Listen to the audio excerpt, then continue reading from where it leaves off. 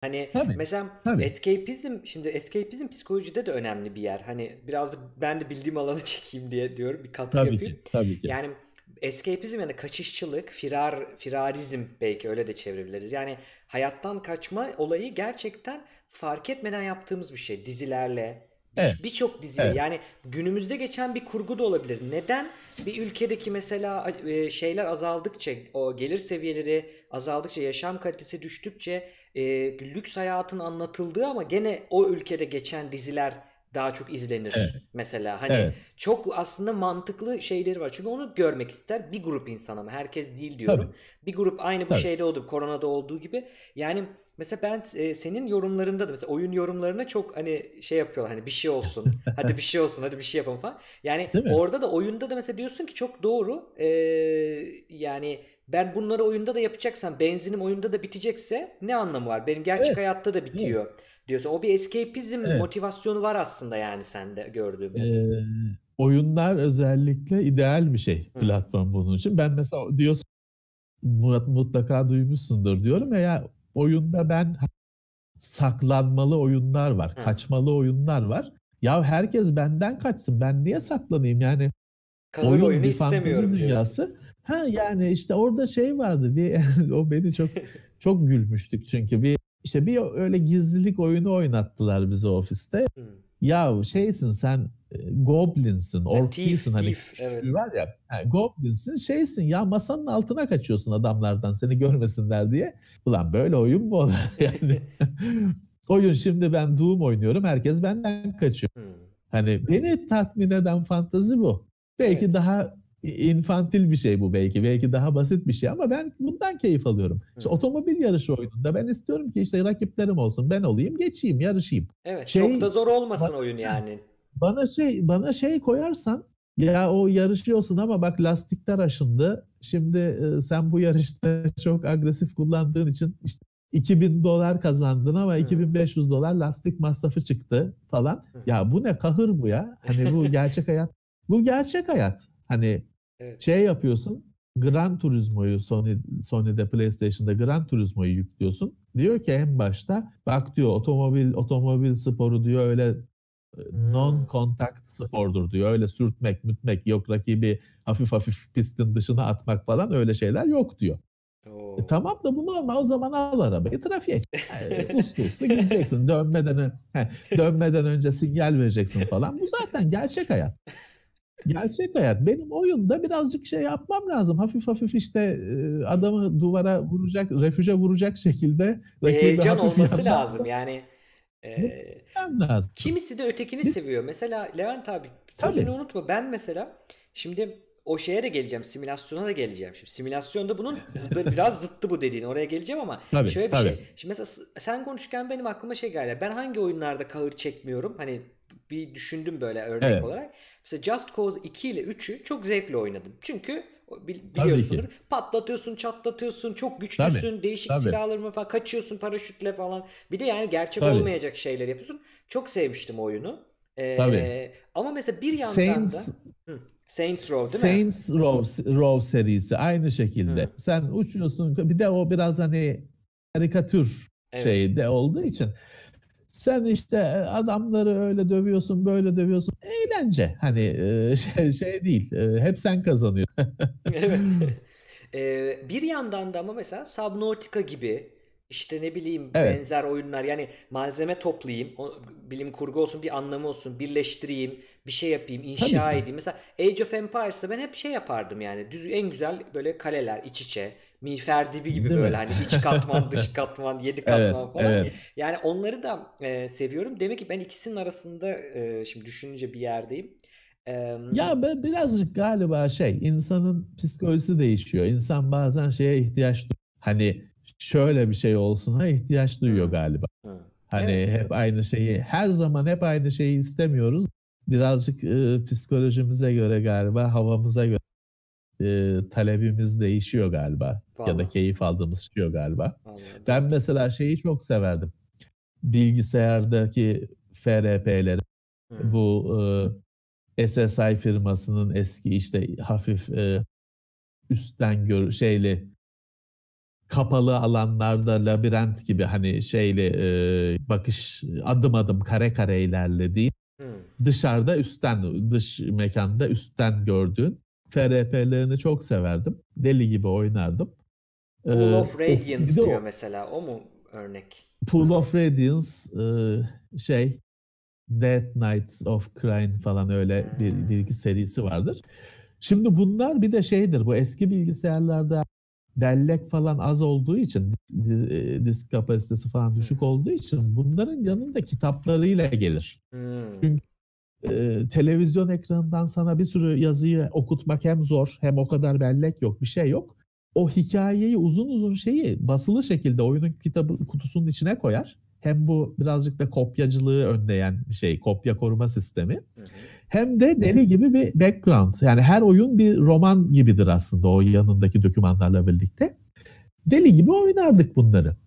Ama şimdi mesela açıkçası bu yaşta artık ne hani onunla? Doom'un Doom'un içinde de bir hikaye anlatılıyor böyle hani biraz işte çok derinleme diyorsun yani okum geçiyorsun artık onları. Çünkü şey istiyorsun ya bir aksiyon bir şeyler olsun. Ekrandan okumuyorsun onları. Şeyimiz değişiyor tabii. Beğenilerimiz, e, taleplerimiz, tatmin aradığımız şeyler değişiyor zaman. Evet. Ya öteki de şey yapabilir belki. Bir bir şeyler yapabilmek, üretebilmek, kontrol ihtiyacı. Yani o da o da çok aslında bizim e, gündelik hayatta çok değişen olaylara göre mesela şu an yine düşen bir şey korona zamanı kontrol ihtiyacı. Kontrolsüz çünkü Tabii. bizim kontrolümüzde değil. Belki oyunda Değil. adam işte şey istiyor hani bir şeyleri ben bir araya getireyim çabalayayım ve bir Tabii. şey inşa edeyim benim olsun burası gibi mesela ya da Sims'te mesela şeyler var ben de öyleyimdir mesela Sims'te yıllarca ben yaptım evi ama insanları da koyuyordum hayal ediyorum çok güzel ev müthiş mükemmelçisin yani. Her şeyini yapıyordum böyle. Çok güzel yaşayacaklar şimdi buraya diyordum. Yaşama moduna bir alıyordum. Sıkılıyordum. İki gün sonra siliyordum oyunu. Yani onu değil onu Tabii. seyredebiliyorsun çok değişik bir Tabii. E, Tabii. E, buradan şeye atlayalım e, Levent abi. Ona yine gelelim e, diğerlerine ama şunu mesela bir merak ediyorum. Erkenden onu sorayım. E, Tabii ki. Gelecek bilimde bilim temelli işte bilim iletişim evet. platformu. E, biz de şimdi bilim gündemini yapıyoruz işte Tekno Seyir'de bayağı bir zamandır evet. Hamdi abiyle. E, sizde de bazı olaylar mesela şey olduğu oluyor üst üste bindi. Mesela bu oyunların evet. e, psikoloji bozar mı bozmaz mı konuları iki kere de konuşulduğu evet. oluyor. E, senin bilime evet. yani bilime bakış açın değil mi de bilim hayatının neresinde? E, takip edebiliyor musun? Evet. Onları biraz soralım. Şöyle yine benim kuşağımın, benim modelimdeki adamların klasiğidir. TÜBİTAK'ın Bilim ve Teknik dergisiyle büyüdük. Benim elimde hala şey duruyor. O biliyorsun o dergi evrim geçirdi. Bir daha A5, A5 yani şey değil, içerik olarak değil, Evrim format olarak değil. A5, ben e, kelime ha, o şey ayrı, yapıyorsun sen. O, o ayrı tartışma. Hani o derginin formatı bir A5 sayfa falan gibiydi. Hmm. Sonra A4 sayfa büyük dergi, büyük dergi formatına dönüştü. O eski halinin bende bayağı bir kısmının arşivi var. Bazı cilt, şeyleri ciltli, bazı yılları ciltli falan. Ben o dergiyi şey okurdum. Hani sayfa sayfa okurdum. Şeyine kadar o arkadaki satranç bölümüne kadar. Satrançta çok aram olmasa bile. Ee, o satranç bölümüne kadar okurdum. Benim e, Cevdet benim ben bilim hayranıyım. Takipçisiyim. Benim bir akademik hani lisans eğitimi dışında bilim zaten bilim değil sanat benim eğitimim. Bilim eğitimim yok. Ama ben bilim takipçisiyim, hayranıyım. Bilime çok güvenen birisiyim. Ee, bilimin çünkü işlediğini görüyorum. Bilim sayesinde bak konuşuyoruz. Sen başka ülkedesin, ben başka ülkedeyim. Konuşuyoruz, çalışıyor. Arada internet kesildi ama olsun. Ee, çalışıyor. Bilim sayesinde bilgisayarımın tuşuna bastığım zaman açılacağını, açılmıyorsa fiziksel bir nedeni vardır açılmasının. Normal şartlarda çalışmaya başlayacaktır. bir ortam değil mi? Kuralları belli. Tabii ki. Tabii ki. Kuralları belli çalışıyor ve hani şu andaki bizim algılarımıza göre şeye göre gerçek. Hani yer çekimi var işte atıyorsun taşı düşüyor atıyorsun düşüyor. Ben 40 küsur yaşındayım taşın atılıp düşmediğini görmedim hiç. Ee, yani ben hatta şunu söyleyebilirim. Ee, e, ben böyle fanta renkli şeylere falan çok meraklı olmama rağmen böyle hikaye olarak doğaüstü falan filan korku böyle şeylere çok meraklı olmama, deli gibi okumama rağmen ben şunu söyleyeyim. Ben ben hayatımda doğaüstü hiçbir şeye şahit olmadım. Hı. O yüzden de hani şey e, aslında hayat çok sıkıcı bir şey. E, Doğaüstü, fantastik hiçbir şey. Ve bu şey hani görüyorsun bütün de şey bunu sağlıyor. Yani e, çevrende gördüklerin, ar- ölçümlerin, argümanlar bunu sağlıyor. Hı. Ha, şey çok güzel. Hayalet öyküleri çok güzel. Nefis, eğlenceli şeyler. Fantastik korku öyküleri nefis şeyler. Ama gerçek hayatta öyle bir şey olmuyor işte. Taş şey taş kendi kendine hareket etmiyor. Ediyorsa ya rüzgar esmiştir, bilmem ne o yer deprem olmuştur, bir şey olmuştur. Bir Bir ara ana oluyor. haberlerin öyle bir section'ı vardı hatırlıyor musun? Yani her ana haberde yürüyen yukarı doğru haberi. yürüyen kayalar, işte Evet, burasında araba, kaşık duran, ütü duran adamlar falan böyle bir, bir bölüm vardı. Van Gölü canavarı. Ya şey e, bir yerde şeyi fark ettim işte Cevdet hani hepsinin bir açıklaması var. Hani çok fantastik gözüken şeyin bile hani bir katmanını sıyırdığında altından bir açıklama çıkıyor. Bir yerde bunu fark ettim. Bir yerde şeyi fark ettim. Ben mesela Von Daniken'i biliyorsun. Bu tanrıların Uzaylıcı. arabaları şeyi mi? Evet. Hı. Ben e, onun çok iyi okuruydum. Şu anda Oo. bile ben atmadım. Kitaplığımda belki 10 tane 15 tane kitabı var. Fakat bir yerde şeyi fark ettim. Onun numarasını fark ettim. Ne Hmm. yapıyor? Mesela işte e, duvar duvarda resim. Adamın elinde bir sopa var. Üzerinden de ışık. Ya meşale bariz hani şey var ya Occam's Razor hani Şimdi nedir? Nal, nal sesi duyunca at düşünün der. Nal, nal sesi duyunca zebra düşün. At geldi dersin. Evet. Çünkü budur, hayat budur. Şimdi orada da adamın elinde çubuk var, üzerinden ışık çız- çıkıyor. Tabii ki meşale bu. Hı. Fondaniken ne diyor? Lazer silahı var elinde. Işın kılıcı Öyle hatta şey. Ha, böyle yazıyor. Bu bütün numarası bu. Bunun üzerine kurulu. Ya da şey numaralar böyle mesela şeye gitme. Sonuçtan sebebe gitme. İşte efendim Hmm. neymiş büyük piramidin alanını yüksekliğine çarpınca ayın bilmem ne mesafesi çıkıyormuş. Bu aslında şey ayın bilmem ayın dünyaya olan mesafesini zaten biliyorsun. Hı. Ee, oradan giderek büyük piramidin bilmem ne alanına bölüyorsun onu falan. Sonuca böyle gidiyorsun. Bir yerde bu numaraları şey yaptım. Anladım, fark ettim. Ve tabii şeyin bozuluyor. Bir anda hani illüz- illüzyon Evet. bozuluyor bir anda.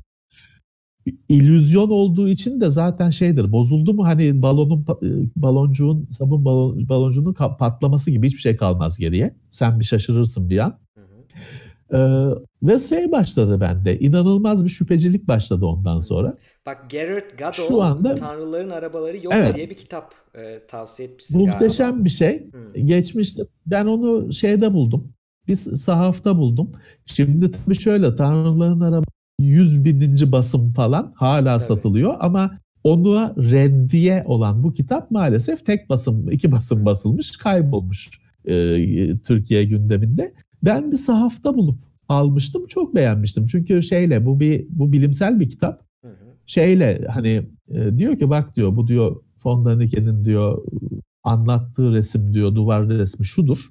Bir kere diyor bu resmi diyor Von Daniken bilerek diyor baş aşağı koymuştur. Aslında diyor o resim Hmm. şöyle durmaktadır. Şeyini de referansını vererek e, atıflarını yaparak çok ciddi bir aslında belki hak etmediği kadar Von Daniken'in ciddi bir reddiye bu. Ne yazık ki bir kere iki kere basılmış 60'lı yıllarda mı ne kaybolmuş. Ben okumuştum tavsiye ettim sonra arkadaşlar bunun pdf'ini falan buldular. Hı. Hani ben kitap korsanlığına karşıyım ama bu kitabın baskısı yok, bir şey yok. Dolayısıyla istedikleri bir şey değil, paylaşabilirler, kızmam. Ee, PDF'ini buldular. Ee, ya işte Cevdet sonuçta dediğim gibi bazen şey oluyorsun, uyanıyorsun, ee, düşüncelerin değişiyor. Şey diyorsun ya görmemişim bunu diyorsun. Benim arkadaş çevrem de çok etkili oldu. Bu daha sorgulayıcı. Yaklaşmakta, e, realist yaklaşmakta meselelere. Çünkü benim biraz duygusal bir tarafım var. Bazen heyecana kapılabiliyorum, öfkeye kapılabiliyorum. E, şeyi görmeyebiliyorum. Hani realiteyle bir araya bir katman giriyor diyorum. İyi kötü anlamda. Hı hı. Arkadaşlarım da çok daha etkili oldu ama bende şöyle bir sonuç sonuç oluştu. Aşırı sorgulayıcı bir şey oldu. Hayatın tadı hayatım biraz rengi kaçtı. Çünkü ben şimdi okuduğum her şeye yalan diye bakıyorum. Acaba doğru mu diye Ee, araştırıyorum. Bütün güvenimi kaybettim. Evet bak orada Hayatım. şeyi soracaktım sana. Çok güzel geldi. Şimdi sen e, hayatta iyi şeyler olmaz sözüyle bilinen bir insansın. Evet. E, bu Evet. pesimizm ya da işte karamsarlık e, ne zaman çıktı? Bu olaydan sonra mı çıktı? Şüphe etmeye başlayınca mı çıktı? Ya birazcık tabii şöyle, biraz e, ben her zaman biraz hayalci olmuştum. Hı. Hani bir yaratıcı tarafım olmasa bunları kağıda dökemesem, öyküye dökemesem de kendi içimde hayalci bir çocuk olmuştum. Büyüyünce de devam etti ama o hayallerin hepsi kırıldı tabii ki çatır çatır. Ne Evet. konuda olursa olsun hayat bütün acımasızlığıyla, hoyratlığıyla bütün hayalleri her zaman kırdı. E sonuçta da geriye bir tortu kaldı, bir kırılmışlık, kırgınlık kaldı. Bir uyanma kaldı. Ve şeyi gördük yani, ulan hiç iyi bir şey olmuyor işte. Hep zaten hani iki seçenek var. İyi bir şey olabilir ya da o kötü bir şey olabilir. Kötü olan oluyor. Bunu gördüm. Hı hı. Birazcık işte yani Dark Hardware'ın Dark Hardware olması biraz bu yüzden. Benim Hmm. e, üzerime öyle bir gece gece karanlığı çöktü. Bir gotiklik Bir diyorsun sonra var tabii karanlık. şey oldu. Tabii ki. Yani sonuçta hani 18 yaş, 20 yaş, 20 küsur yaşlar böyle bir kahır içinde, şey içinde, e, karanlık içinde geçti. Sonra tabii büyük, onun artık o artık eğlence oldu bana. Hani o şekilde e, yaşamamaya başladım ama şimdi eğleniyorum onunla açıkçası. Ee, ama evet şey bir böyle ben şeyi daha çok gözlüyorum. Kötü şeylerin olduğunu daha çok. Belki şeydir bu. Seçiciliktir belki algıda. Hı hı. Ya bende mesela şöyle bir e, yön var e, Cevdet. Ben bunu giriştiğim projelerde birlikte çalışacağım insanlara en baştan söylüyorum. Diyorum ki bak arkadaşlar hani ben şimdi bir köprüye bak bir köprüye baktığımız zaman ben anında şeyi söylerim. Bu şu kiriş kırılır, bu köprü oradan çöker. Söylerim. Şey yapmayın. Hani bunda, bunu şeye çevirin. Hani siz Fırsata biriniz çevirin, tamam. Hani çünkü çünkü büyük olasılıkla evet gerçekten de o kiriş kırılacaktır. Hani şey boşa söylemem yani. Bu doğa- bu bir kehanet değil. Ben sahip olduğum fizik bilgisiyle onu söylüyorumdur. Bir kiriş ilk önce bu kiriş kırılır diye. Siz de bunu fırsata çevirip gidip onu tamir edin. Evet, Hani şey yapmayın. kırmayın. Tamam yani. Evet zaten işte şimdi ben mesela şimdi sen bana desen ki abi beraber bir dergi kuralım. Hı. Ben 20 tane o derginin neden başarısız olacağını söylerim sana. Evet. Ama işte o yüzden yeni bir şeye gireceğim zaman arkadaşlarıma şey diyorum. Bak ben bunu yapacağım. Küsmeyin. Hani Aa, bu iş olmayacak zaten diye küsmeyin. Bu benim söyleyeceğim şeylerin hepsi elle tutulur done- doneler. Hı hı. Siz işte bunların çözümüne gidin. Hı. Çünkü şey de bir şeydir. Bir adamın ya bu köprü şuradan yıkılacak demesi de bir şeydir. O Tabii. da bir veridir. O da bir veridir. Siz bunu değerlendirin. Şeye takılmayın. Hani e, bu iş olmaz tamam olmayacak zaten. E, Bana kalsaydı benim arkadaşlarım benim dediklerime baksalardı teknoseyir meknoseyir hiçbiri olmazdı. Çünkü ben şimdi şey sen şey deyince bana ya bir web sitesi açalım insanlar yorumlarını düşüncelerini yazabilsin dediğin zaman ben hemen aklıma şey geliyor. Bunlar birbirlerine küfür ederler. Sonra işte polis benim kapıma dayanır bilmem ne. Bu dayan bu geliyor hemen benim. Hı hı. Bu oluyor, bu oluyor zaten. Böyle Ee? oluyor ama şey yapıyorsun. Ya kervan yolda düzülür var. Hani birazcık şey olacak. Biraz da Cevdet polis kapına gelecek. O zaman bakacak. Değil mi? En baştan ben site açacağım da insanlar birbirlerine küfürleri için polis bana gelecek bilmem ne. Bunu düşünürsen hiçbir şey yapamazsın. Yapamıyorsun. O yüzden şeyi anladım. Bu yaşta artık anladım. Ya kardeşim sen yap şunu. Polis de kapıya gelince o zaman onu Hı. ee, Ray Bradbury yine rahmetlinin ikinci kez adı geçiyor. Şöyle bir lafı var. Diyor ki sen uçurumdan at kendini. Hı. Düşerken kanatlarını yap.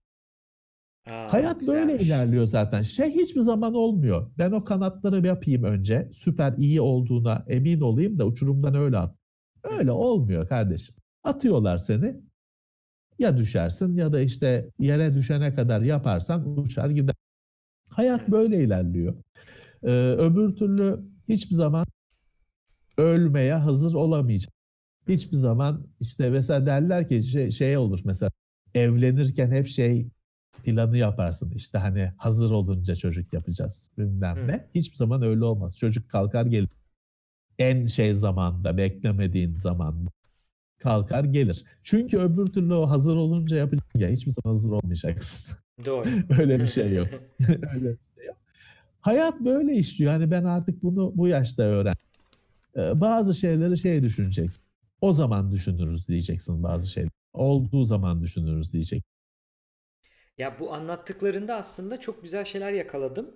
Ee, bir tanesi şey hani bir şeye karam yani karamsarlık aslında bizi dediğin gibi hayatta tutan bir şey. A- artı bir şey dediğin gibi. Bu şeyin de hatta İlker Can Tabii. İkligil'in bir TEDx konuşması var. Yani karamsarları sevin. Hani onlar sizin en iyi arkadaşınızdır aslında. Çünkü senin sen dediğin gibi bak bu köprü yıkılacak takmasan önemsemesen o köprüyü demezsin yıkılacak diye. Tabii, Aslında bu tabii, burada bu tabii, var ve tabii. öngörü e, şeyi. Fakat burada tabii başka noktalar da var. Bir tanesi şu olabilir. E, dedin ya bana mesela hayallerim vardı ve bunlar yıkıldı.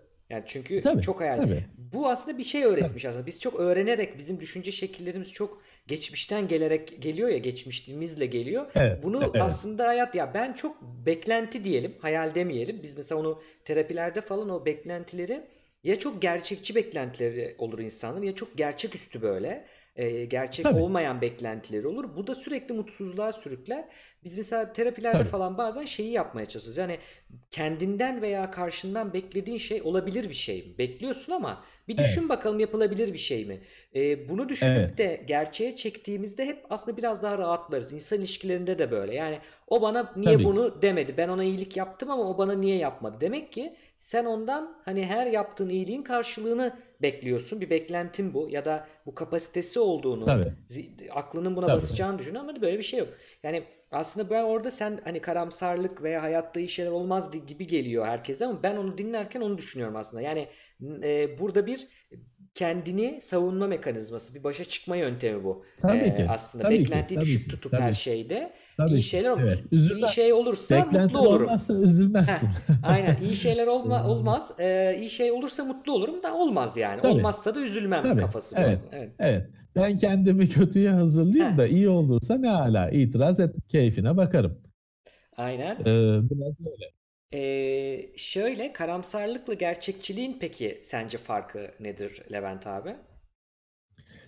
Ya şimdi şöyle, e, şimdi ben karamsarlığı gerçekten gördüğüm için çok sağlıklı şey yapamıyorum. Çok sağlıklı analiz edemiyorum aslında. E, tabii ki aslında şöyle, e, e, bir sürü hayatta güzel şey oluyor.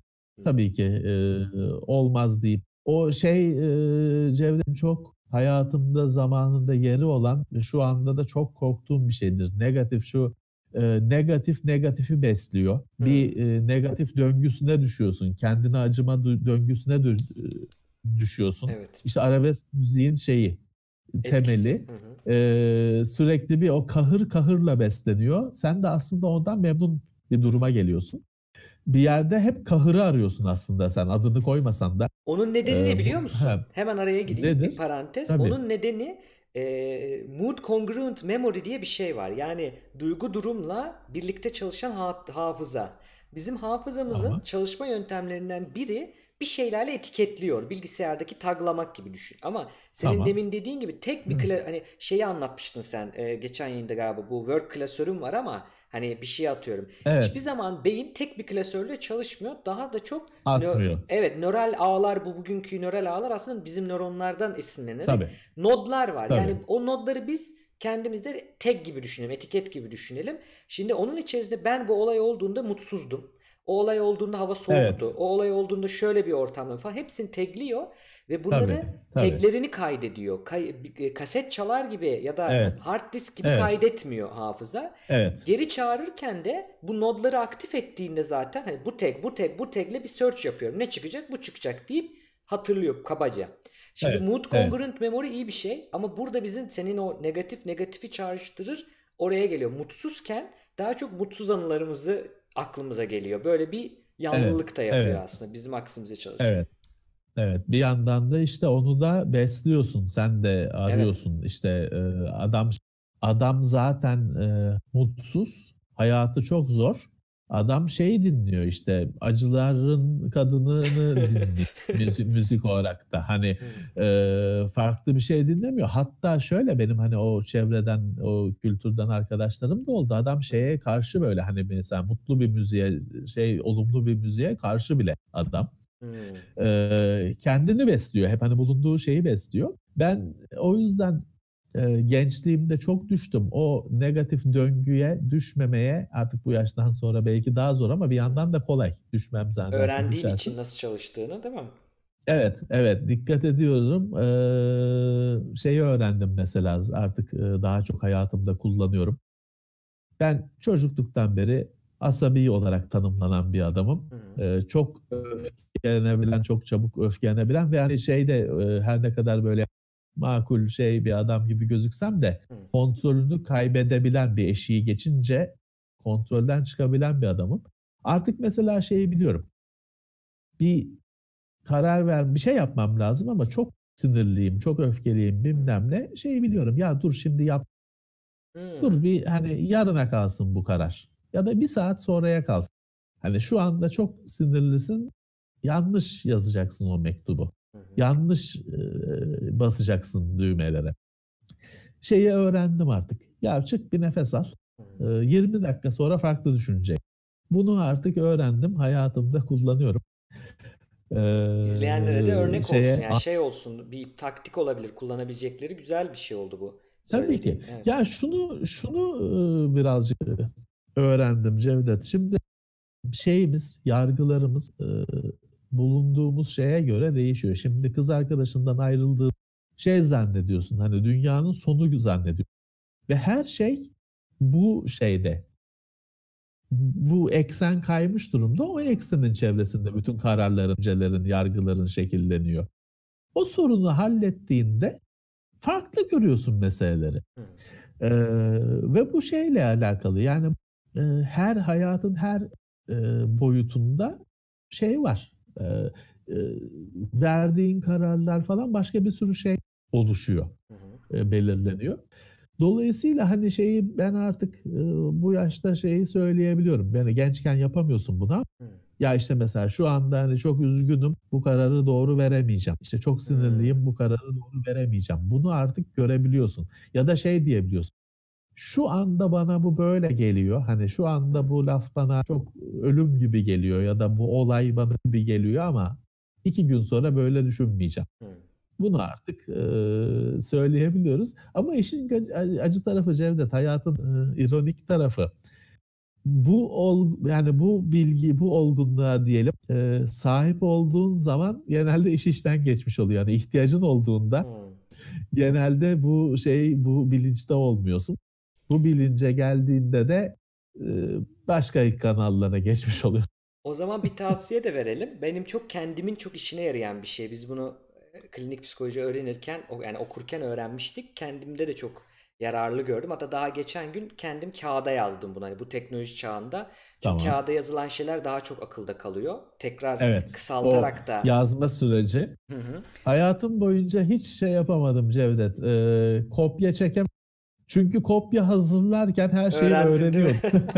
öyle bir sayfa falan bilmem ne öyle hakikaten küçük küçük bilmem ne yazarsın şey yapar. Hmm. Ya şey yazarken öğrendiğim için hiçbir hiçbir zaman gerek, gerek kalmadı. aynen öyle. Hadi Burada bu da arada söylemiş olayım. Bir, bir taktik olsun aynen. Kısaltarak, manipüle ederek yaptığınızda sizin oluyor artık. Hafıza da başka evet. yerle, başka nodlarla bağlandığı için daha rahat hatırlarsınız. Neyse ben bunları yazdım. Ekrana da veriyorum. Bizim beynimizin bug'ları var. Ben öyle anlatmayı seviyorum bunu. Bunlar evet, kognitif evet. bias diye yani bilişsel temayüller, yanlılıklar gibi. Bizim belli konularda belli şekilde düşünmeye yatkınlığımız var ama bunlar çoğu zaman doğru değil. Bizim beynimizin evet. hala mükemmel bir organ değil. Bug'ları öyle anlatayım. Evet. Mesela işte e, siyah beyaz düşünme biçimi. Çok yaptığımız bir şey. Otomatikman yaptığımız bir şey. evet. şey. Yani ya bu ya hayatta iyi şeyler olur ya olmaz. Yani ya iyi şey olur ya kötü şey olur. Evet. Arası yok gibi. Mesela atıyorum örnek evet. senden aklıma. Veya işte sen geçen gün şey de demin şey dedin e, anlatırken. Yani bu e, olay dedin ya hani bekle bakalım şey olursa olur. Ne derler? Kapıya gelirlerse polis o zaman bakarız dedim mesela. Evet, Bu evet. sonuçlara atlama bizim falcılık dediğimiz bir şey var. Evet be- beynin en çok yapabildiği şey prediction. Tahmini müthiş yapıyoruz. Yapabildiğimiz için evrimsel Evet. olarak buradayız. Bütün bu teknoloji bizim tahmin yeteneğimizden ama bazen işte onun ayarı şaşıyor. Bazen dayanaksız tahminler yapabiliyor. Mesela bizi üzüyor. Yani mesela diyor ki sınav kesin ge- Evet. geç- ge- berbat geçecek batıracağım diyor mesela. Bununla ilgili Evet, elinde bir şey evet. yok ama falcılık hani sonuca sıçrama gibi. Böyle bir sürü burada bizim bug'lar var. Bunları hani e, senin yaşında öğrenilen şeyler ama belki erkenden öğrenmek isteyen bazılarını için bunun linkini ben e, atacağım şeye e, Tabii kaynaklarımıza. Bakabilirler oradan. İlginç bazen e, aa ya ben bunu yapıyormuşum falan gibi yanılgılara e, sebep oluyor. Tabii Görüyorum ki. orada. Tabii ki. İnsanın mesela ben e, kendi kendini kandırma kapasitesi çok büyük. Evet. Şey kapasitesi çok büyük. Kendini mesela bir sorun var. Hani o sorunla uğraşılması lazım. Ondan kaçmak için bin tane yol bulmakta ustayız. Ee, şey yine bir mesele var. Bir tatsız bir durum var. Onu görmemekte çok ustayız. Mesela şu şeyde bile hastalıkta bile işte bu şey öyle bir şey ki dışarıdaki şu anda kapının dışında kol gezen virüs şeyi de öldürüyor. Hani mükemmel bir vücuda sahip olan sporcu bilmem neyi adamı da öldürüyor. Yaşlıyı da öldürüyor. Bir çocuğu galiba öldürmüyor ama onun da istisnası var diyorlar. Hani süper sağlıklıyım, hayatımı spora adadım falan para etmiyor. Buna rağmen mesela ya risk gerçek. Hı. Ama hani gör, görmemek isteyen adam var. Ee, yani şey için riski yok saymak için elinden geleni yapan e, adam var. İnsanın e, şeyi benim çok ilgimi çekiyor. İnsan aslında işte bir et yığını diyeyim hani Hı. Çok basitleştirmek oluyor ama evet etten oluşuyorsun. Hani kemikten etten oluşuyorsun sonuçta. Ve kimya makinesi Hı hı. fizik ve kimya kurallarıyla çalışıyorsun. Evet hani e, bu her zaman ilgimi çekiyor. Şey çok ilgimi çekiyor. Bizim de bir e, işletim sistemimiz var. O Evet. işletim sistemimiz bize yükleniyor. İşte annen e, erkek oğlum şunu yapsın diyor bilmem ne. Okulda arkadaşın bilmem ne diyor. Senin işletim sistemin böyle dinamik olarak oluşuyor. Ama bir de BIOS var. Hı. BIOS ne? İşte e, şimdi ben bilinçaltı falan gibi şeyler senin önünde söyleyemem. Yo, Yar- söyle, e, söyle, yarım olarak bilgimde ama e, şöyle mesela işte her zaman mesela bende şey vardır. Herkes de herhalde vardır. E, bir sen şey koydun önüme hani sağdaki değil mi iki tane şey e, iki fındık seçeceğiz. İki e, kap dolusu şey var. Fındık var.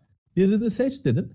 Ben saymadan kafadan hani sen onu koyduğun anda genelde doğrusunu seçerim. E, Saymaya başladığımda yanlışı yanlışı seçme ihtimalim çok daha fazla artar. Ama kafadan hani koyduğunda ya da şey seçenek her zaman hani sağ abi sağa mı gidelim sola mı gidelim dediğinde benim aklımda bir anda oluşan seçenek şeyden daha doğru çıkar genelde. Düşünüp de ha şimdi sağa gidersek şu olacak bilmem ne yarım saat düşüneceğimden daha doğru çıkar. Sezgi Mesela diyor ona şeyi- bazı teorisyenler. Evet, Psikolojide evet. sezgi diyor evet. Ben ona artık daha saygı duymaya başladım. Hı. Hani şeyi gördüm, dükkana girdim. Girdiğim anda o koltuk hoşuma gitti. Artık şey yapıyorum. Ulan bir bu daha sonra diğer koltuklar daha cazip geldi ama şey diyorum. O koltukta bir iş var kardeşim. Girdiğim saniye onu gördüm. Onu gözüm ona gitti. Ee, genelde onu alıyorum, çıkıyorum. Ee, bu şey benim ilgimi çekiyor tabii ki. Mesela insanın e, şey okumuştum. İnsanın e, gözü göz ya da bütün görme sistemi kafanı sağa sola çevirdiğin zaman çözünürlüğü düşürüyor. Hı. Şeyde netliyor. Kafanı sağa sola çevirmeyi bırakıp da hani bakmaya başladığında yine netliyor. Ama kafayı sağa sola çevirirken, gözünü şey yaparken ya şöyle kafayı sağa sola çevirme emri geldiğinde göze de şey gidiyor işte. Hani ya da göz yani görme sistemine yani çözünürlüğü düşür Hı. bilgisi gidiyor. Ya da Çünkü o daha şey mı olacak. bozuyor? Hani o da olabilir. Şeyi Çok kapatıyor. çok dat çok data gelecek tamam mı? Kafayı çünkü belki işlevsel derece çevireceksin. Arada çok fazla bilgi gelecek ve o bilginin şey gerekmiyor. işlenmesi gerekmiyor. Çünkü sen kafayı yeni yere bakacaksın. Görmek istediğin yere bakacaksın. Asıl oraya odaklanılması lazım. Hı hı. Aradaki şeyi ignore ediyor. Ee, dikkate almıyor. Hı. Çözünürlüğü düşürerek. Bunlar Ama orada dediğin da kaynak şey var. kodlarda gelen bir şey. Çok ilginç Tabii değil mi? tabii bunlar işletim sisteminden bağımsız BIOS'un şeyleri. Ee, orada da mesela şey var. Mesela eski usul saat. Hı. Eski usul saate ilk baktığında başka bir yere bakarken saate baktığında bir yarım saniye bir o saniyenin ilerlemesinde bir gariplik olur ya. Bir geriye sanki bir geriye atlar bir an için. Hı. Tam şey yapamazsın. Böyle hani ilk baktığın anda bir tam netleşmez saat. Hı. Orada mesela şey var Cevdet. Ee, kafayı saate sen doğru çevirirken düşük çözünürlüklü dedim ya. Hı. Dikkate almıyor. Veriyi gözden alıyor ama işlemiyor, atıyor. Hı. Dedim ya. Sen saate odaklandığında o şeyden düşük çözünürlüklü veriden yüksek çözünürlüklüye geçiyor. Ama orada da şeyi fark ediyor beyin. Ya arada şey var, data eksik. Hmm. Buraya nasıl geldik? Çünkü o ar- aradaki şeyleri attı ya verileri işlemeden. Saniye gibi bir şey de çünkü onu Pankare, görüyor evet. tek tek. İşte ve şey yapıyor. Televizyondaki kare oluşturma gibi Hı. şey oluşturuyor. O sa o sa saat e, saniye ibresinin işte yarım sa- 0.1 saniye önceki halini kendi oluşturuyor. Bu kesin böyledir diye. Çünkü arada bir Evet. boşluk var. Ama o da şey olmuyor. Tam olmadığından işte ilk baktığın saniyede dönen bir şey, ritmik hareket eden bir şeye ilk odaklanmada bir 0.1 saniye belki bir hafif bir gariplik var. Yani bunu deneyebilir arkadaşlarımız da. Evet. Ee, çünkü şey yapıyor işte dediğim gibi beyin bir dur ya ne oluyoruz yapıyor. Çete de Ya da yazmışlar. şey var ya Bende de oluyor diyor. Ee, yani İşte bu normal bir şey. Beyin mesela Böyle çalışıyoruz. beynin işletim sistemi ve BIOS hani böyle bakabiliriz. Şimdi bazı şeyciler hiç sevmez bunu. Hani bilgisayar beyinden çıkmış bir şeydir. Ee, kendinden oluşturmuş bir şeyle onu örnek vermeyin derler. Doğru ama anlatmak adına, bilim iletişimi yapmak adına çok Evet. e, faydalı buluyorum. Çünkü ben şimdi bir, bir işte bir davranış desem, biliş desem o kalacağız ama şey deyince, işletim Tabii. sistemi deyince, hardware, software deyince anlaşılıyor. Neyse Tabii, şey tabii. dediğin gibi Bio- BIOS aslında BIOS'tan ziyade bilinç dışını şöyle görebiliriz. Ee, biz Windows'ta bir şeye tıkladığımızda arkada bir kod olur ya. Yani bir de onun Evet, arka tarafında bir şey vardır. Orayı gibi Evet. düşünebiliriz aslında. Ve biz Tabii aslında bizim bilincimizin seviyesinde olmayan, bizim özellikle dediğin beynin belki kapattığı, gerek yok burayı bilmesine bu adamın dedi. Hani Apple kapatıyor bazı şeyleri. Gerek Evet. yok sizin bilmenize diyor. Beynin de öyle Tabii. yıllar içinde, yüz, yüz, yüz binler yıllar içinde burayı hani bu altını bilme yani her yaşadığın travmayı hatırlama. Her işte Tabii. şeyi hatırlama. O o e, koltuğu seçiyorsun. Oradan gidelim mesela. O koltuğu Tabii. seçiyorsun. Bir o renk mesela atıyorum dikkat çekici bir renktir. Evrimsel olarak dikkat çekici bir Tabii, renktir. tabii. Bir. iki senin Tabii. girdiğin alan oluyor. Üç senin daha önceki yaşantında sevdiğin, gördüğün, çok Tabii. maruz kaldığın. Yani Tabii. aslında bütün bilgi elimizde olsa, bütün teori elimizde olsa belki açıklayabileceğimiz şeyler ama o şeyin de Tabii. bir büyüsü oluyor. Yani e, hızlı karar verilen bilinç e, ona aslında bilinç dışı diyoruz biz. Altı yerine dışı deme, demek daha doğru. Bilinç Tabii, dışı Tabii. e, şey e, tam o bilinçle bilinç arası aradaki çizgi ve bilinç diyelim hani farkında olduklarımız. Tabii. O arada çizgide olan şeyler bazen dikkat ettiğinde farkına varabiliyorsun. Hani e, en güzel Evet. örneği mesela değişim körlüğüdür. Bu videolar falan var. Hani bir, bir şey izliyorsun. Basket oynuyorlar. Diyor ki sana topu say. Aradan bir ayı geçiyor mesela. Dans ediyor arada gidiyor. Ayıyı gördün mü diyor mesela. Görmüyor. Görmüyorsun. Evet, evet. Valla Yani. Levent abi son 10 dakikamız var. Hiç ben şey yapmayayım. Tamam. Bir de havacılık söz vermiştik. Biraz da ona girelim. Biz zaten Evet. diğer konuları konuştuk. ee, bol bol.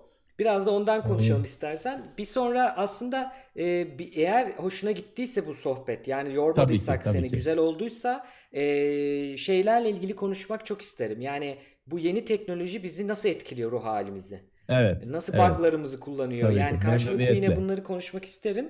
E, izleyicimiz de ister. E, öyle bir şey yapalım. Hani sonraya Tabii. da atalım. E, ama Söz. Tamam. Süper. O sözü bakın aldık. Taahhüt etkisi var burada da. Herkesin önünde evet, evet. olunca. Şöyle evet. e, havacılıkla ilgili e, Levent abi senin gene bir şeyin var. Orada bir e, külliyatın bilgin ya, var. Ya o benim bir heyecanım, bir tutkum çocukluktan beri. Ben hala işte uçak geçince bakmadan duramayan adamlardanım. Hmm. Uçak uçak geçiyor diye. 7 yaşında da öyleydim. Cama fırlıyordum uçak geçiyor diye. E şimdi 47 yaşında, 46 yaşında yine uçak uçak geçiyor diye bak bakmadan duramıyorum. O bir ya havacılık çok sürden de aslında farklı durumda değilsin biliyorum. Havacılık böyle çok e, şey umutsuz bir sevda. Evet. Çünkü e, şimdi de, Da Vinci yüzyıllar önce demiş ki insanoğlu insanoğlu bir kere gökyüzüne çıksın hep aklı orada kalacaktır. Evet. Hep yerde dolaşırken de gözü yukarıda gökte olacaktır demiş. Hı hı. Uçak yokken daha. Ee, hakikaten öyle bir bir sevda, bir tutku tarafı var. Ben bunu şey yapamıyorsun. Tabii ki kanatlanıp uçamıyorsun ya da bir işte uçak sahibi olup işte kafana göre uçamıyorsun. Ee, ne yapıyorsun? Bunu tatmin etmek için sürekli bir e, tatmin arayışı nedir? İşte uçuş simülasyonları, modelcilik, maketcilik, e, havacılıkla ilgili her şeyin peşinde hep yerine koymak için e, ben hiçbir şey yapamasam uçak resimlerine bakıyorum Google'da. e, hani saatle zaman geçirebilirim sadece uçak resimlerine bakarak. İşte havacılık üzerine okumak, kimi arkadaşımız yazıyor, yazmak. İşte modelcilik, maketçilik hemen şuraya şey getirdim bir tane P-47 mesela en sevdiğim uçaklardan birisi. Böyle kendini bunlarla tatmin etmeye çalışıyorsun. Çünkü hiçbir zaman o sevdiğine tam ulaşamıyorsun. Kanatların çıkması lazım. Uçman lazım. Yapamıyorsun. Ee, bende de tabii ki işte e, Commodore 64 falan en basit haliyle uçuş simülasyonlarıyla orada tanıştık. Tabii günümüzde hani gülünecek şeyler ama olsun o bir o yine bir heyecandı bizim için. Sonra işte böyle maket model işleriyle bir ara uğraşmaya başladım. Çünkü fiziksel bir şey, daha bir tatmin eden bir şey. O arada şeyle öğreniyorsun. Tabii ki e, havacılığı, uçakları falan çok şey öğreniyorsun. Bu hani belki dudak bükülecek uçak maketini yaparken aslında onun motoru, tekerleği nasıl, pervanesi nasıl, o pervane niye öyle de öbürü niye böyle falan hmm. bir sürü şey kalıyor aklında. Ee, sürekli böyle bir tatmin arayışı gerektiriyor havacılık. Bu Strumovik'in e, simülasyonları yani askeri havacılık, askeri sanal havacılık. Ya tabii ki şimdi yolcu uçağı birazcık e, sıkıcı bir şey ya. Yani, yani oyunlardaki gibi yine kalır çekiyorsun yani. Heh, yani biliyorsun yakıt gidiyorsun. yetecek mi? Hava trafik izin verdi mi? Tabii. Vesaire, şimdi şey vesaire. bile yok. Şimdi yolcu uçağını gerçek hayatta kullanırken de simülatörde kullanırken de sınırlısın. Yani o evet. Fırıl fırıl takla atabilen bir şey değil. O bir otobüs, kamyon. Hani e, onun da bir keyfi var ama başka bir keyif. Asıl özgürlük hissini tabii ki askeri uçak veriyor. Çünkü teksin. En fazla iki kişisin. Çok güçlü. Gerçekten teknolojinin hat safhasını. Evet. E, çok güçlü bir şey ve hakikaten bir özgürlük e, duygusu var. Ben şeyi hiç kafama takmadım. Mesela benim bazı arkadaşlarım beni eleştirdiler. Benim işte evimde böyle uçaklar bilmem ne maketler falan hmm. filan ya da literatürü. Dediler ki ya sen böyle işte sanatla şeyle falan uğraşan adamsın. Bunların hepsi dediler silah aslında. Ha. Hani evet evet evet şu, şu aslında evet şu silah bu evet. başka insanları öldürmek için yapılmış bir şey. Aslında başka uçakları öldürmek için yapılmış bir şey. Biz biz havacılık merakları onu öyle tatmin ediyoruz hmm. aslında. Çünkü bu genelde biliyorsun bu insana sıkmıyor. Bu başka kendisi gibi başka uçakları öldürüyor. Ama sonuçta insan öldürüyor yani sıkarak. Tabii tabii tabii tabii tabii aslında silah. Evet. Tabii ki. Ama biz hani pek o tarafını düşünmeyiz. Biz o, o uçak objesi bizim için heyecan objesidir. Yani benim bir arkadaşım ben bir yabancı bir arkadaşımla şeyde bozuştum hani e, kız dedi ki ya bu şey hani şimdi biz 2. Dünya Savaşı uçaklarında falan tabii Alman uçakları çok yer tutar. Hmm e, üzerinde gamalı haçta falan.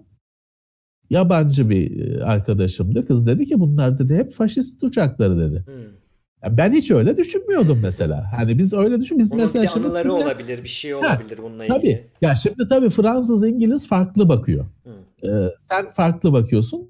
Biz onu mesela şimdi bilmem ne ya da biz havacılık hayranı olarak Focke-Wulf 190. Mesela şimdi 109 bizim için heyecanlı bir şey ama onun tabii başka hatırası var. Başka şey var. Tabii. Bir anda surat asıyor. Hani senin evin bunlarla dolu. Oo, Ee, evet. ya da sor- ya da sorguluyor yani niye bunlar hani bunlar hep insanları misin öl- falan derler. He, Evet. insanları öl- öldüren şeyler diye sorguluyor. Biz öyle düşünmedik. Hani ben çevremdeki hiçbir havacılık meraklısı da o o tarafını düşünmez. Biz uçağın kendisi bize çok heyecan veren bir şeydir. Ee, onun belki de beraberinde getirdiği düşünceler, e, keyifler çok heyecan veren bir şeydir. Tabii. Biz hiç öyle ya bu insanları öldüren bir şey diye düşünmeyiz. Hani e, uçak olarak görürüz. E, o yüzden hani ben o tarafında bazen zorluklar yaşadım ama hiç kendi böyle bir çelişkide hissetmedim. Evet hani simülasyonlarda da askeri simülasyonlar hoşuma gidiyor. Çünkü oradaki hız hissi, e, oradaki e, e, nasıl söyleyeyim heyecan Sivilde bulamıyorum. Ha. Yani Yani- bende de mesela Evet. çok ilginç bir şey. Ben yani herhalde şey ortaokulda başladım böyle. Yani oyun aldığımız bir Tamam. dükkan vardı ve orada böyle ka- karıştırırsın ya korsan oyun alıyordum. İtiraf ediyorum. evet. O zaman yani oydu. Ya- E yalan yok. Şey Hepimiz yoktu ki, yaptık. Başka başka yolu yoktu ki. Yoktu evet yani. Ee, Yani öyle alın, oyun öyle alınıyordu. Hiç unutmuyorum yani böyle bir şeyler vardır böyle dosyalara koyarlar ya onu föylerin içine koyarlar Evet. afişinden bakarsın. Böyle bakarken böyle bir anda kaldığımı hatırlıyorum. Flight Simulator 2004 onu Tamam. görüp böyle ya ben o yani hep böyle çünkü oyunlarda işte GTA'da falan uçakları uçurmak hani şeyler helikopter vesaire yapıyordum. Ya bak işte bunun tamam yeri var yani deyip gidip yüklediğimi hatırlıyorum ve şeyde çok bunu, bulanıma düştüğümü hatırlıyorum yani. Uçak kalkmıyor. Hani oyunda oynarsın yani basacaksın kalkacak. Aa burada Evet. bir burada bir başka Tabii, bir şey tabii. varmış vesaire. Ee, Evet. öğrenmesiyle şimdi Türkiye'de ve dünyada sanal havacılığın bir e, askeri yönü var. Bir sivil Evet. yönü var. Ben hep sivilde Evet. kaldım. Askeriyi çok şey yapmadım. sevmedim belki de anlamadım. E, Daha da zor çünkü onun şeyleri. Mesela onun simülasyonları Tercih falan. ya. Yani Falcon BMS denen bir şey var. Yani deli gibi gerçekçi bir simülasyon. Hani Evet. oyun değil yani hiçbir şekilde oyun Evet. değil. Bizimkiler de öyle değil. Sonra şeylerle tanışınca Levent abi hani bu pilot adam yani diyor ki ben Flight Simulator 2004 uç- uçurdum. Hani e niye uçurdun Evet, sen gerçek biliyorsun. E, Eğitimde kullandık deyince Tabii, ben de tabii. orada dank etti. Yani bunun başka amaçları da olabilir vesaire Tabii. vesaire. Hani oradan işte benim Tabii. kitaba kadar giden e, yer ama şimdi şeyi de bir son sormak istiyorum sana. Son 5 dakikamız Flight Simulator 2020 geliyor. Görselleri vesaireleri evet. müthiş. Ne düşünüyorsun? Evet. Onu sorayım. Şimdi müthiş merak ediyorum. Çünkü şunu merak ediyorum. Ee, şimdi e, konsolda da çalışacak. Şimdi konsolda klavye yok. Bir elimizde gamepad var. Üzerinde 4 tane 6 tane tuş var. Normalde Flight Evet. Simulator klavyenin tamamını kullanıyor. Aynen. Dolayısıyla acaba farklı modlar mı olacak? Yoksa bu çok basitleştirilmiş aslında bir uçak oyunu mu olacak? İnşallah onu yapmazlar. Bir kere çünkü Hani- onu yapmaya denedi, denediler. Evet. Evet. O hiç ol, hiç hoş olmadı. Ee, çünkü hani dediğim gibi konsolda olması bana bunları düşündürüyor. Hı. Bir de şu var Cevdet. Şimdi e, uçuş simülasyonları öldü efektif olarak. Çünkü Evet. bunlar aşırı maliyetli, üretilmesi çok maliyetli şeyler ama Hı. pazarı düşük. Çünkü çok e, niş, işte meraklısına hitap eden şeyler. Artık hiçbir firma buna girmiyor. Hı. Mesela işte DCS var biliyorsun. DCS Evet. de mesela işte sadece meraklılara hitap eden farklı bir satış modeliyle çalışan bir uygulama. Ee, şimdi bu devirde bir uçuş simülasyonu Microsoft zaten sonlandırmıştı Flight Simulator'ı. Evet. Geri, geri dönmesi çok ilginç geliyor bana. Acaba eski Flight Simulator mı geri dönecek? Hı. Yoksa çok basitleştirilmiş işte uzay Şimdi filmi bu- demiştim ya sohbetin başında. Evet. Bu da uçak oyunu. Uçak şey oyunu. gibi A- Ace Combat falan vardır ya seri olarak. Hı. Uçak oyunudur onlar. Şimdi Acaba öyle bir şey mi gelecek? Şimdi ben Medium'da bununla ilgili bir yazı yazdım. Bakabilirler. Flight Simulator 2020 geliyor diye aratırlarsa. Tamam. Orada biraz anlattım kısaca geçmişini. Yani 2000 ben geldiğimde mesela size FSX vardı. O zaman bile Evet. eskiydi o. Daha Tabii. sonra FSX'i e, yani Ace Game Studio 2010 2009'a kapatılıyor. Bu bitiyor. 10 yıllık çok büyük bir Evet. efsane bu. Bittikten sonra ESD diyorlar buna. Bir kaynak kodu hali vardı bunun. Yani Evet. hem oyun olarak satılıyordu. O kaynak kodları da şey Lockheed Martin'e çok büyük bir firma uçak e, havacılık Evet. alanında, uzay alanında da Prepar 3D diye bir yazılım yaptı ve bunu gerçekten ordulara falan sattı ve ilk defa çok Tabii. ilginç bir şeydir Tabii. bu. Ha, biz yıllarca şeyi anlatmaya çalıştık e, Levent abi. Bu oyun gözüküyor, oyun kategorisine satılıyor ama senin nasıl kullandığına bağlı. Yani fotoğraf makinesini Evet. alıp sen sergi açacak kadar da çekebilirsin. Gidip Tabii, çocuğunun tabii. resmini de çekebilirsin yani o da ona Tabii. benziyor. Bunun böyle bir kapasitesi var dedik ve Lockheed Martin aynı kaynak kodu aldı. Ha, sadece şeyini arttırdı. İşte o RAM muhabbetini konuşmuştuk. Tabii. 64 bite çıkardı falan ama fizik motoru aynı kaldı. Ve adamlar nasıl sattı? Sitesinde sattı ve dedi ki bu bir oyun değildir, bu bir yazılımdır. Siteden benim sitemden alabilirsin. Tabii, tabii. Hiçbir yere konmadı.